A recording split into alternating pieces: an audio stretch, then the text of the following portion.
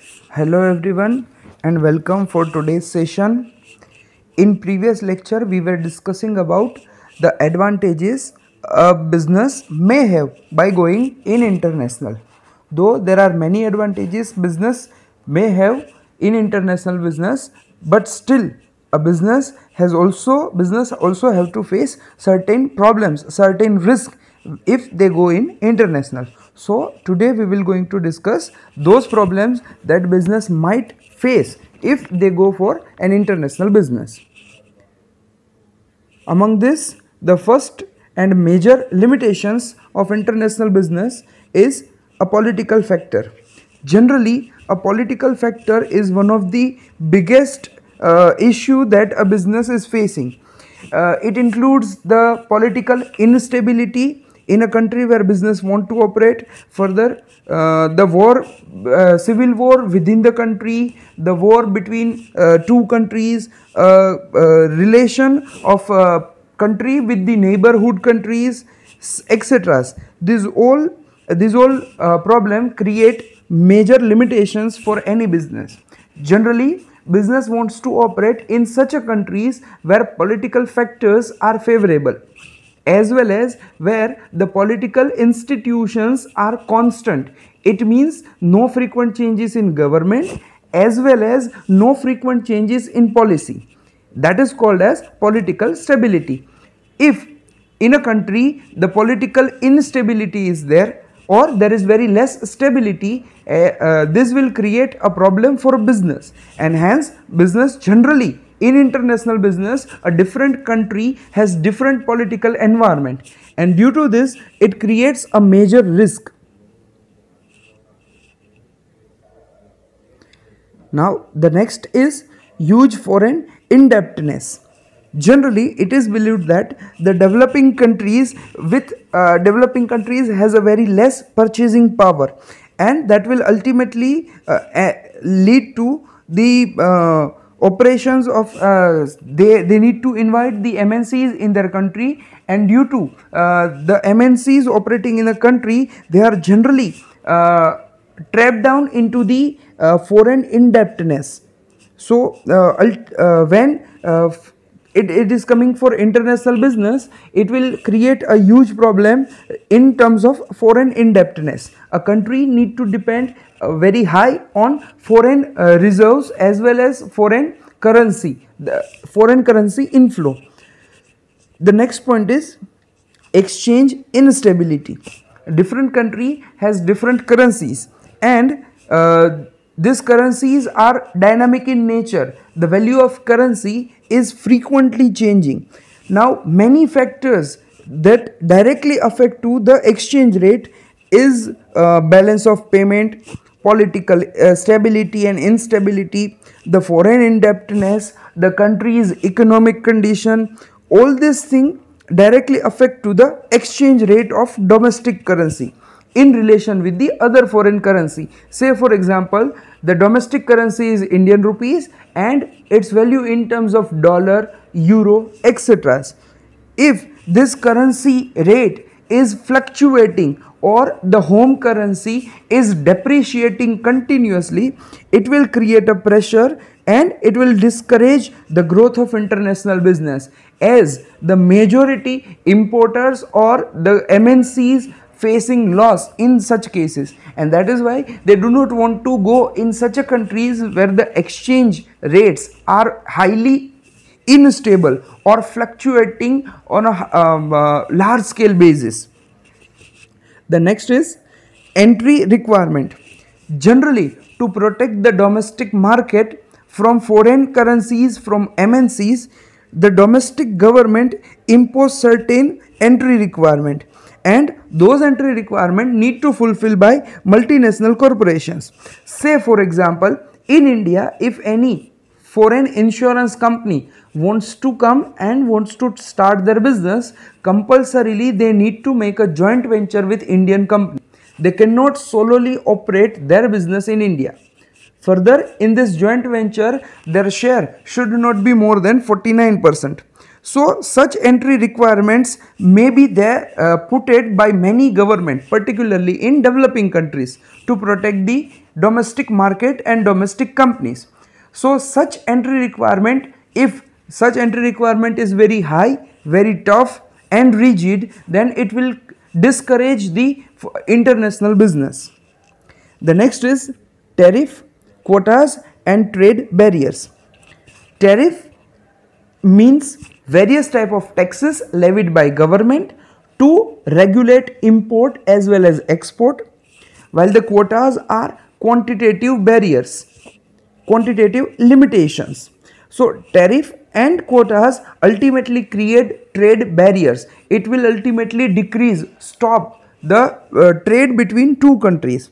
Again the government is imposing various uh, tariff import export quotas uh, excise duty import duty custom duty etc to protect the domestic business. If the country having uh, if the country is having huge amount of uh, such tariff and quotas restriction it will ultimately lead to the decrease in international business. A country like india where such type of taxes are very high so it, it will restrict the foreign companies to enter into India. Now the next point is corruption. Generally many uh, developing countries are facing the similar problem. The corruption is one of the uh, kind of phenomena that is prevailing in many countries. Uh, a higher rate of bribe, uh, many uh, uh, license requirement uh, and many kind of document requirement ultimately lead, to very very less growth of international business. Generally companies do not want to go in such a countries where the rate of corruption is very high. So a high amount of corruption may stop the international companies may stop the mncs to enter into our country then the bureaucratic practices of government. Bureaucratic in the sense a rigid and a very old style practices of government. If the government attitude towards the business is not positive, if the government attitude towards the business is negative, government is generally do not granting permission government is asking for license. They are uh, government is getting delayed in providing uh, various type of sanction clearance etc so this all ultimately lead to demotivate the foreign companies to enter into india. Say for example before 1991 before the introduction of liberalization policy introduced in our country uh, india is considered as one of the very rigid country to do a business. So in such a countries, multinational companies or foreign companies do not want to enter because they need to face uh, very, uh, they need to face a problem uh, frequently. The frequency of problem, uh, government restriction and problems are very high in such a countries. So they do not want to come. Many developing countries are facing such a problem and ultimately it will lead to decrease in international business. Another important factor which uh, create a problem, which create a limitation for international business is technological pirating. Many developing countries are such where the technological pirating rate is very high. Example, China, India, etc. and many Asian countries. So, where the technological pirating rate is high, in such countries a technology which is newly introduced can get easily copied. So, so this will ultimately uh, create the problem for the company which has originally invented such product. So where in a country where the imitation rate, imitation it means making a copy without the consent, without the permission of the original company.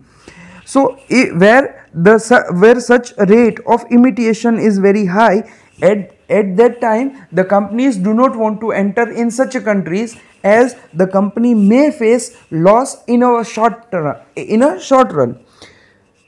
The next is quality maintenance.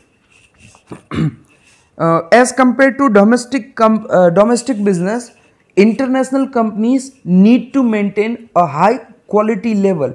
And they need to maintain this high quality level on a continuous basis. So the uh, the companies are in a continuous pressure to provide a good quality product. If such a if any company or if any country fails to pro- uh, match with such a standard then uh, they may face a rejection from the buyer and they may it may turn into losses. So uh, further to produce a good quality product they also need a good quality raw material good quality machineries a huge amount of finance as well as good quality human resource so ultimately this all may create certain amount of restriction for a business to enter into international business. And the last problem generally faced by many countries is the high cost. The high cost of transportation, uh, technological upgradation, finding a good quality human resource, product improvement, market, market survey, this all ultimately lead to a very huge amount of cost Say for example, if any Indian company wants to introduce their product in America, then firstly they need to identify the taste and preference of the people in America. And to find out such taste and preference, they need to make a market survey in America. Now, doing a market survey in India and doing a market survey in America is altogether a very different thing. And hence, ultimately, it will create it will increase the cost as well as it will increase the risk risk of failure and hence many business houses do not uh, getting ready to enter into international business due to all these things so these are the few uh, problems that may a company face if they want to enter into international business so that is all about today's session have a nice day. Goodbye.